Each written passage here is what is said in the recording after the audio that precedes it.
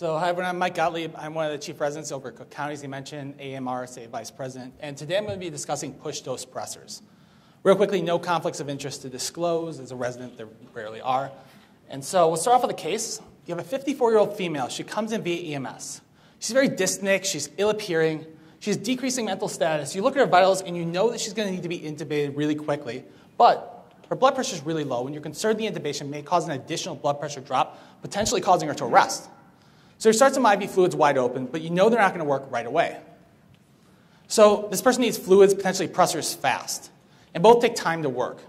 Even if you have dopamine or norepinephrine in your Pyxis, it takes time to get it set up, to get the drips put together, and even longer if pharmacy needs to get involved. So I'd like to propose the concept of push dose pressors. A little bit of background.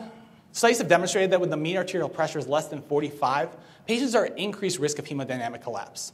There's also evidence demonstrating that post-intubation hypotension is associated with increased morbidity and mortality. Now, IV fluids, even if you're going to use a pressure bag, take time to work. And vasopressors require time to, for mixing, for pump setup, and available nursing staff. Now, there's actually pretty extensive anesthesia literature discussing this, but not really a lot in the emergency medicine literature.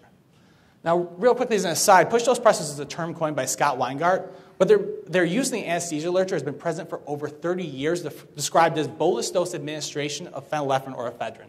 But because that's really long, we're going to stick with push dose pressors. Now, in the anesthesia literature, there's good evidence for its safety and efficacy. As I mentioned, over 30 years they've been using this predominantly for post spinal anesthesia hypotension of pregnant patients. And in fact, this is one of the drugs of choice in the operating room when a patient becomes severely hypotensive. Now, if you really think about it, push dose pressors really aren't that different from a vasopressor drip in that the doses you're giving per minute are about the same. And really, it's just a rapid route to start a vasopressor infusion in these sicker patients. Now, this is not intended for all patients. It's not intended for the mildly hypotensive patient that you just want to bridge and make the numbers look good. This is meant for the very sick patients. This is meant for the severely hypotensive patient, either peri-intubation or during procedural sedation. Or again, recalling that MAP less than 45 is associated with increased risk of hemodynamic collapse. This may also be valuable as a vasopressor infusion as you're trying to get the drip set up. Remembering that it takes time to actually get these set up. And if your patient's very sick, you could potentially start it at the bedside while you're waiting for nursing to get it out of the Pyxis or potentially pharmacy to make it. Now, anesthesia classically is used phenylephrine and ephedrine. Now, phenylephrine is great because it's easily titratable, it has a short half life. Most of us are pretty familiar with it. You don't really see ephedrine, uh, sorry, you don't really see ephedrine in the ED setting, though, because it has a much longer half life. It has a, a significant potential for misdosing. Rather, most experts recommend using epinephrine in the ED setting, again, because it's shorter half life, easily, easily available, pretty good to titrate. Most of us are familiar with it. So we'll start with phenylephrine.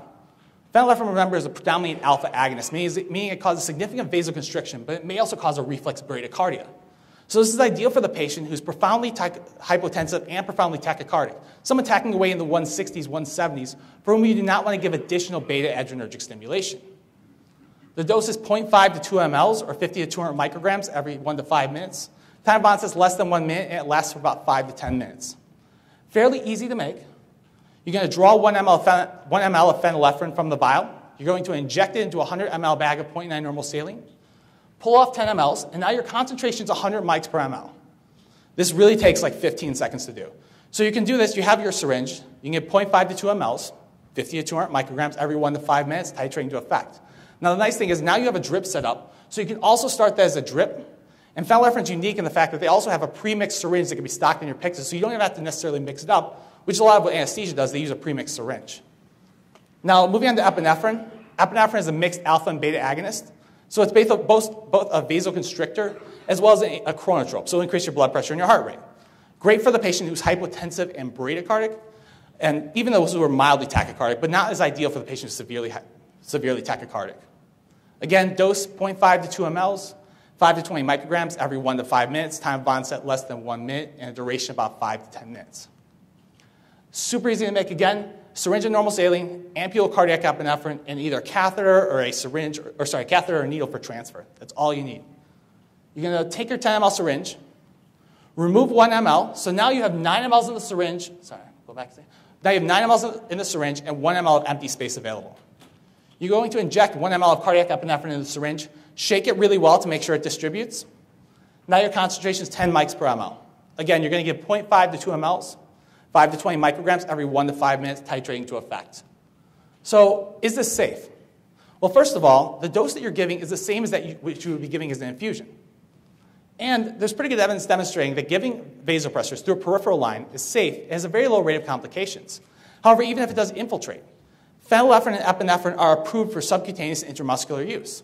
In fact, the dose of epinephrine is the same as that when you give lidocaine with epinephrine for anesthesia, and it's less than that given for anaphylaxis, remembering that we used to give epinephrine anaphylaxis subcutaneously. So, a couple caveats. All right? Not, not everything in medicine is 100% always good. So, there's limited evidence in the emergency department setting. And despite extensive anesthesia literature, most of the studies were performed in you know, previously healthy, well hydrated OB patients, as opposed to a much sicker ED patient. So, it does require a further ED study. However, this should be considered as a potential temporary solution, but you have to keep in mind that this is something that is a bridging solution. It should not replace other appropriate interventions as well as appropriate post intubation assessments. So, in conclusion, remember that MAP less than 45 is associated with increased risk of hemodynamic collapse. IV fluids, vasopressors really do take a lot more time than we think they're going to take. And in a sick patient who's severely hypotensive, consider push dose pressors as a bridge to fluids and vasopressor therapy. These are some selected references. Thank you guys so much for your time and attention. I'm happy to answer any questions.